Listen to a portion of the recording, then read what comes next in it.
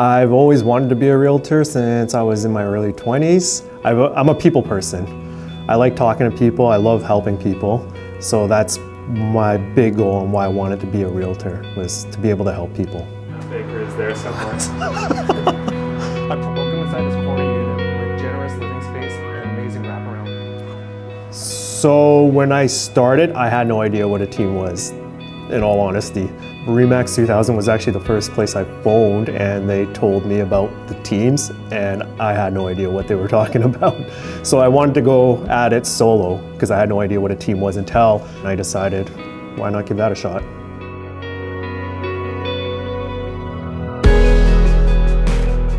I've learned a lot being on the team so far. So I feel that compared to the brokerage I was at before, I learned only little bit day by day, whereas being part of the team, I've learned so much knowledge a year within a couple months now.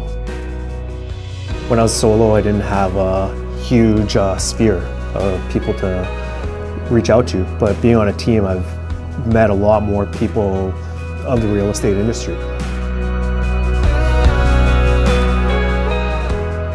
You learn something new every day, and it's not just from leaders, it's just from everybody else in the office uh, other realtors will be put into situations that you haven't been, been put into, and you'll learn from that. With the, I have a lot more free time to enjoy life.